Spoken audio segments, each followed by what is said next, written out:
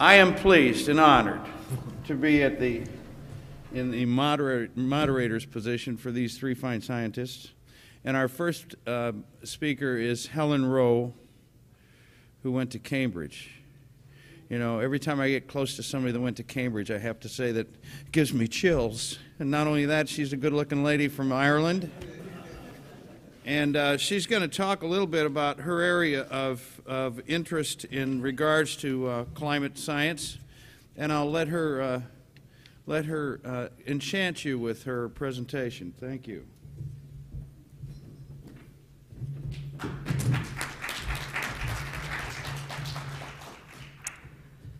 Okay, well, I'm going to be talking to you about um, the climate records that we can extract from, from peatlands, providing some longer term context to interpreting the, the patterns that have been observed uh, over the last century. I'm primarily, in the short time I have available, going to be talking about the methodologies that we employ to look at climate change uh, from this sedimentary archive. Um, I'm going to be presenting some data um, based uh, upon a record uh, which spans about four and a half thousand years.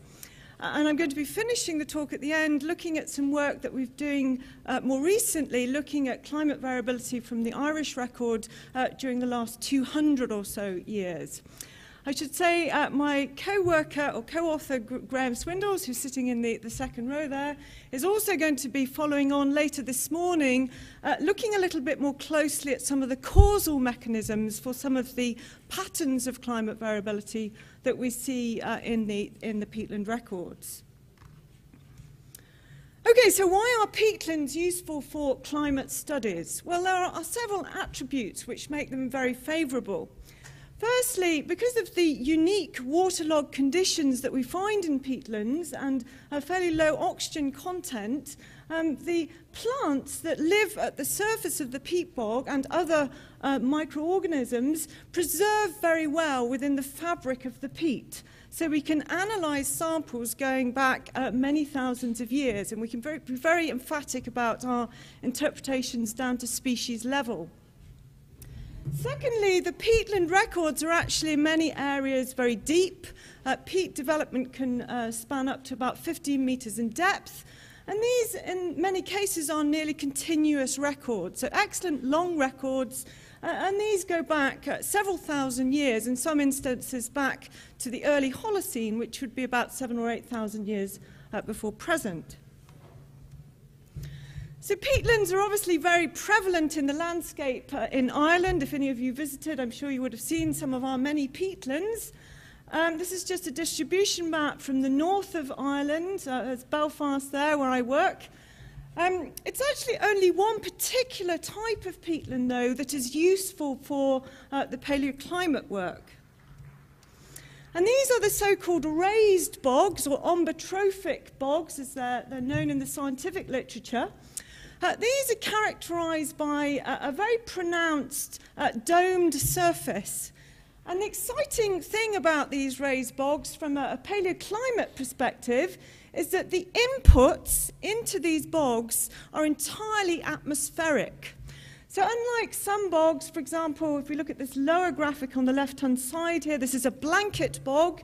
This would be subject to fluctuations in groundwater, inputs perhaps from, perhaps from springs or streams. But the raised bogs, uh, the organisms growing on the surface of the raised bogs, uh, their ecology and distribution is entirely controlled uh, by atmospheric inputs. So essentially, if we collect a core of sediment through the dome of a raised bog, we are looking at a record of atmospheric changes uh, through time. And just a photograph, it's not terribly clear, unfortunately. This is one of these uh, domed uh, raised bogs that we find in a lowland area in the north of Ireland. So the key question that we have to um, address when we work with climate proxies is what climate variability, variables rather, are the um, proxies recording. It's very, very important to try and thoroughly understand exactly what attributes of climate we're actually looking at in the peatland records.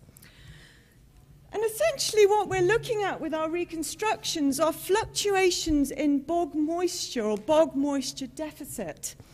And they are the product of two uh, essential controls the inputs to the bog, which is through precipitation, and obviously the losses of that moisture through a, a combination of evaporation and transpiration uh, through plants. So we have this equation that the bog moisture or the bog moisture deficit is equal to P minus E. And studies uh, which have been undertaken in the oceanic parts of northwest Europe have demonstrated that in these areas, particularly, the bog signal is particularly sensitive to summer moisture so, or summer droughtiness. That's what our paleo records are essentially telling us. So it's very, very important to be aware of what the proxy is telling us right at the outset of this work.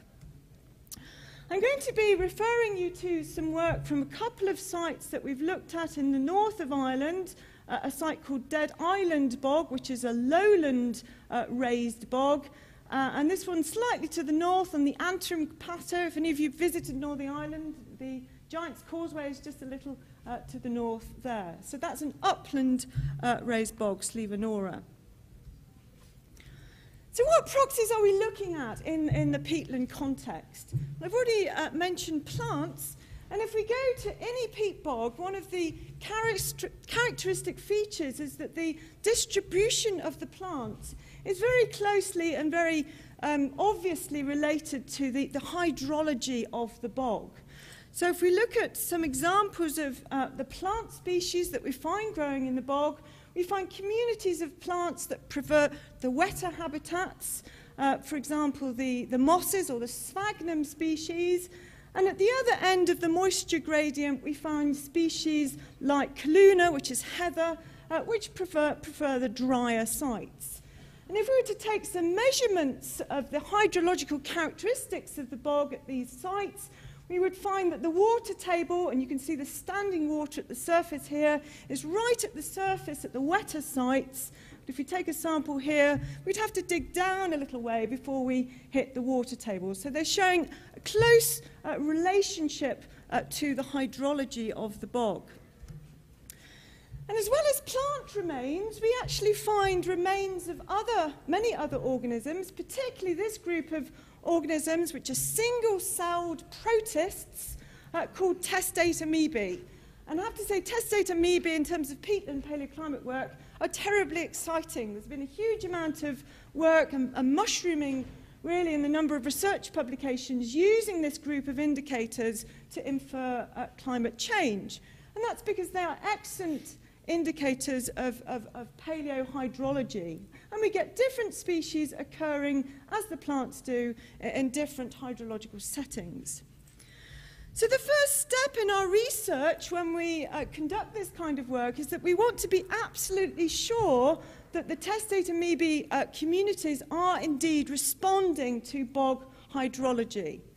So the first thing we do in this kind of research is take many samples from different sites of the bog, and as well as measuring hydrological characteristics, we're also influencing, looking at other characteristics that may possibly influence the, the organisms. These are biological communities, of course. They could be influenced by many variables. So we do some standard uh, multivariate statistics to try and establish the, the key environmental controls on the modern living testate amoeba assemblages. What we're looking at here is a plot which essentially shows uh, different species and the influence of these different variables on these communities of organisms. And from this work, we're able to quantitatively demonstrate that the hydrological variables, particularly water table and moisture content, are the key drivers of the, the community composition. So having, having established that relationship in the modern environment, we can then build a quantitative model.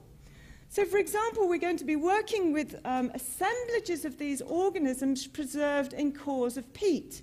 So we can use our data from the modern environment, and what we have here are different species, and what these vertical lines essentially showing are the tolerance to, to different uh, water table depths in the modern environment. So we get species which occur at the dry end of the spectrum and species at the wet end of the spectrum.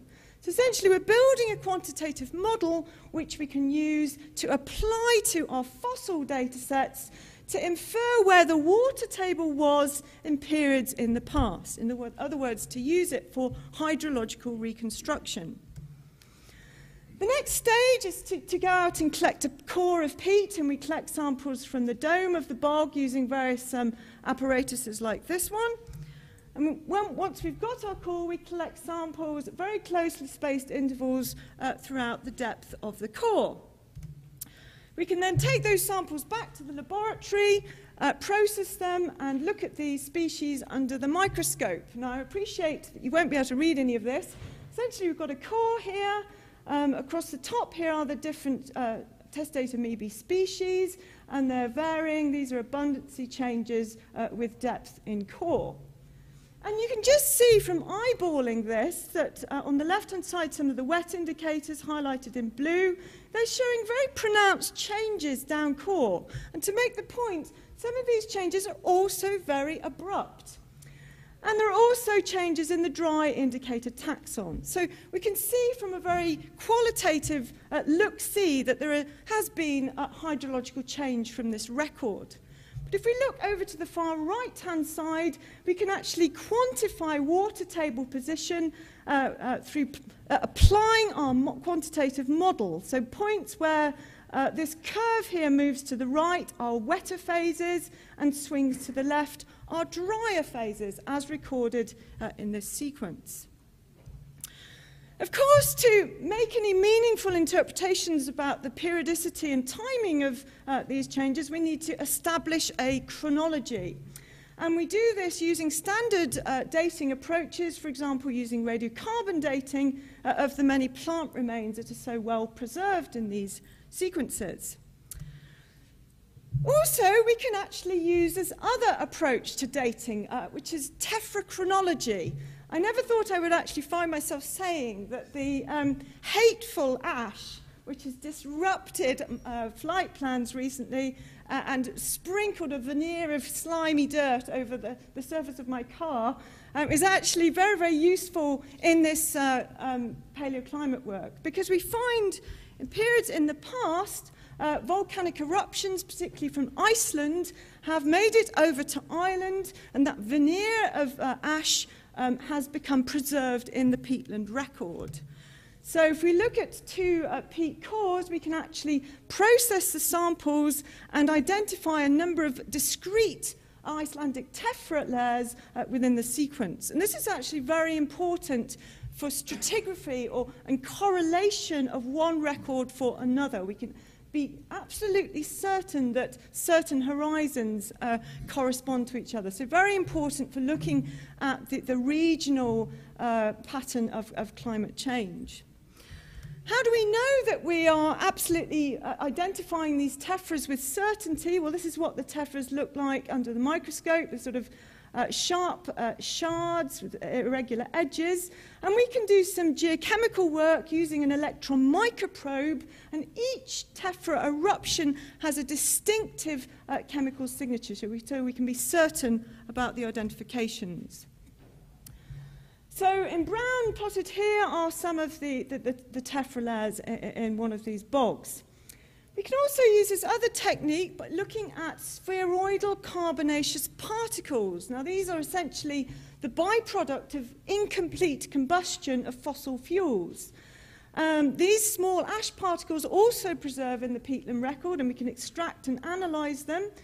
And they typically begin in the mid 19th century and they rise in the peak in the Irish records in the early 1980s. So, again, uh, this technique is useful and well established for dating uh, recent sediments.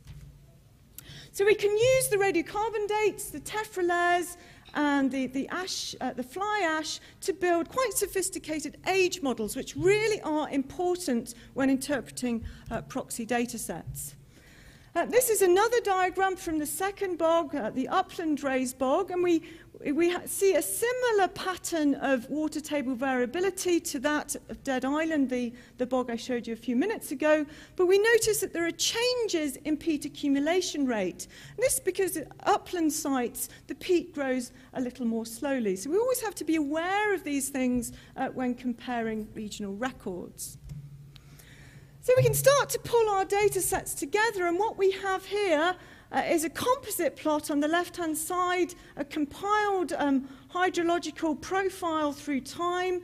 Um, this is uh, plotted in years, uh, calendar years BC and AD uh, from the two Irish sites. Uh, this profile here is from a third bog in Northern Ireland. Uh, this is from a bog in the south of Ireland.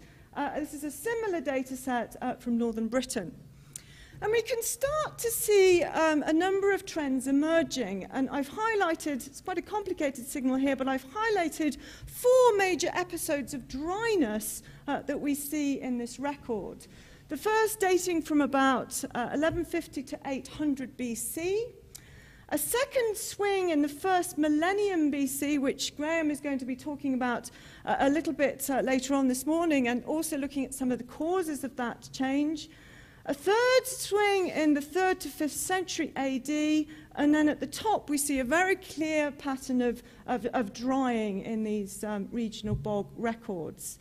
And we can compare our proxy data set with other hydrologically sensitive proxies uh, from Northwest Europe. We have a European lake level uh, data set in, in the banded uh, column here, the black and white bands. And these white bands are periods when European lake level data sets record a, a lowering of lake levels, uh, and these correspond quite nicely to our uh, drier episodes. So having established that this proxy appears to be working very well on this longer time frame, uh, what we're doing uh, currently is using this to look at um, more closely at the patterns of hydrological change from the Irish peatlands during the last 250 years. Uh, and this is the work of a PhD student, uh, and it's ongoing. And essentially, she's looking at a large number of sites. She has nine sites from raised bogs across the north of Ireland. She's selected sites in different topographic and different rainfall um, locations, bogs of different sizes, bogs of different floristic characteristics. Some of the questions that we're looking at here is when did the episode of recent drying begin? Was it regionally synchronous? Um, are the records re replicable from different areas of the region? And of course, another key question is to try and uh, look at comparisons between the bog-inferred hydrological change and instrumental records of climate variability. And we have a record from the north of Ireland that goes back to um, the 1840s. Uh, so we're, we're trying to put this data together to really try and analyse uh, recent warming uh, or recent drying that's been recorded. So this is one of her preliminary diagrams. This is a testate amoebae diagram. Um, she's got only two dated horizons so far. We're still awaiting further dates back.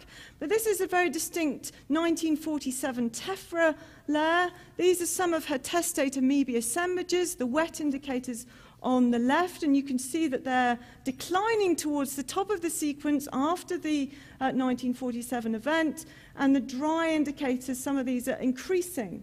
And what we've done is we've applied the quantitative model which uh, Graeme Swindles uh, developed for the, for the uh, longer Holocene chronologies, and we see in this record accelerated drying in the latter half um, of um, the 20th century coming towards the present.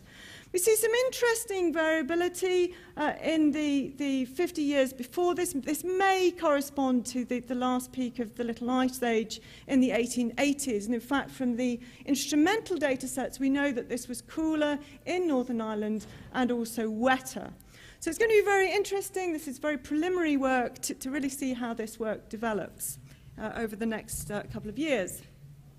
So really just to summarize what I've covered, I've looked at the processes that we employ to extract this paleoclimate data right from the uh, early stages of sample collection, the development of the species-environment relationships, and the subsequent uh, model construction um, to look at paleohydrological change. I've talked to you about the importance of uh, establishing a good chronology, and I've given you a little flavour of some of the, the types of data that we're getting uh, from this archive. And I've highlighted some periods of climate change uh, from the Irish record. And clearly, um, the next stage in our um, sort of scientific research pathway is to start to look at rates of change, scales of change, periodicities of change, and then to try and make that leap to look at uh, forcing mechanisms. And I shall leave it there. Okay.